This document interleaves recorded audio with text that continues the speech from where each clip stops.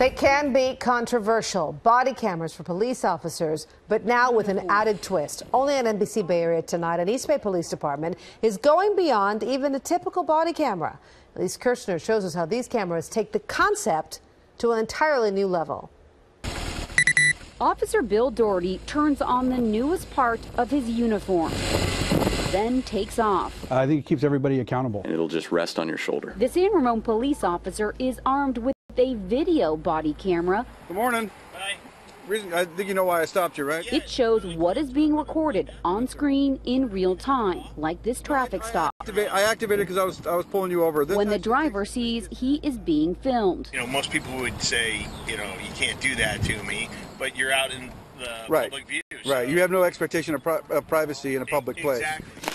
Popular in Europe, San Ramon is the first city in California to purchase this type of body worn video system. Use the clip, And officers are already being trained on how to use the $800 camera. and there you got your tone. Your screen's on. You can see. You can see me right in the screen, right in front of you. So, what happens to all the video that's being recorded? At the end of a shift, officers will place the cameras in a smart dock like this.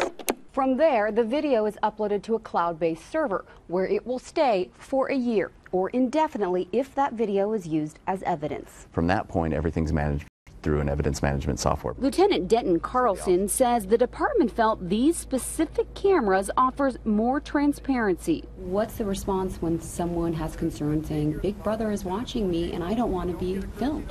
Well, there is a legal standard, and the legal standard is that if we're in a public place, and if you're in a public place, you're freely able to record what's going on in that public place. 40 officers are expected to be outfitted with the cameras in the next few months. And that's it. That's how it works. In San Ramon, Elyce Kirchner, NBC Bay Area News.